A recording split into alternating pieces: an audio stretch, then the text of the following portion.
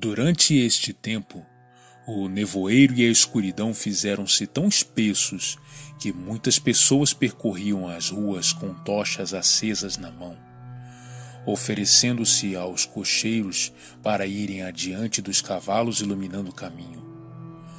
A antiga torre de uma igreja, cujo velho sino bimbalhante parecia espiar Scrooge continuamente através de sua janelinha gótica, tornara-se invisível e pôs-se a tocar as horas e os quartos de horas entre nuvens, com vibrações prolongadas e trêmulas, como se estivesse a bater os dentes lá no alto, no ar gélido. O frio tornava-se intenso. Na rua principal, sobre a qual desembocava a viela, alguns operários que reparavam o encanamento do gás haviam acendido uma fogueira em torno da qual se haviam aglomerado homens e mulheres, todos andrajosos que aqueciam as mãos e olhavam fogo com ar maravilhado. O bebedouro público, vendo-se abandonado, resolveu congelar-se. Os luminosos dos magazines, onde as bagas e as folhas de azevinho estavam sob o calor das lâmpadas nas vitrinas, imprimiam rubros reflexos nos rostos pálidos dos transeuntes. As vitrinas dos restaurantes e dos bares ofereciam aos olhos uma apresentação esplêndida, um espetáculo deslumbrante com o qual parecia impossível que os vulgares princípios da compra e venda pudessem ter a menor relação. O prefeito, repimpado no majestoso edifício da Câmara, dava ordem aos seus cinquenta cozinheiros e despenseiros para que o Natal fosse comemorado como se deve comemorar na casa de um prefeito. E mesmo o pobre alfaiate, que fora condenado na segunda-feira anterior a cinco shillings de multa por embriaguez e arruaça noturna, fazia seus preparativos dentro de sua miserável mansarda. Batendo a massa do bolo no dia seguinte, enquanto sua esposa saía apressadamente com o bebê ao colo para comprar um pedaço de carne de vaca.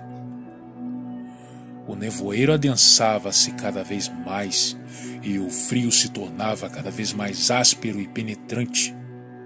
Um rapazinho de nariz arrebitado, roído pelo vento glacial e voraz, como osso por um cão, aproximou-se da porta para saudar Scrooge com uma cantiga de Natal mas desde as primeiras palavras de Deus vos salve, bom amigo, vos dê coração alegre, Scrooge apanhou uma régua com um gesto tão enérgico que o cantor fugiu espavorido, perdendo-se no nevoeiro e no frio.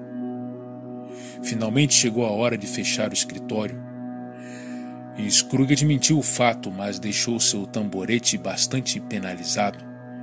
O empregado, que em seu cubículo só aguardava este sinal, apressou-se em apagar o candeeiro e pôr o chapéu. Você há de certamente querer ficar livre todo dia de amanhã? Disse-lhe Scrooge. Se isso não aborrecer, senhor. Naturalmente que isso me atrapalha, replicou Scrooge. E o que é mais, isso não é justo. Se eu descontasse meia coroa de seu ordenado, aposto que se sentiria prejudicado. O empregado teve um sorriso pálido. E, entretanto, tornou Strug, você acha que não prejudica a mim quando estou lhe pagando um dia para não fazer nada? O empregado observou humildemente que isso acontecia uma vez por ano. Bela desculpa para meter as unhas no bolso do seu patrão a cada 25 de dezembro, disse Scrooge, abotoando o sobretudo até o queixo. Espero que seja mais pontual no dia seguinte pela manhã. O empregado prometeu e Scrooge saiu resmungando. O escritório foi fechado no abrir e fechar de olhos, e o empregado também saiu, todo enrolado em seu cachecol branco cujas extremidades pendiam para além da jaqueta, pois que ele desconhecia o luxo de um sobretudo. Em honra do Natal, desceu Cornhill, fazendo escorregadelas, em companhia de um bando de rapazes. Depois rumou a toda velocidade para Camden, a fim de entrar em casa e começar a brincar de cabra cega. Continua.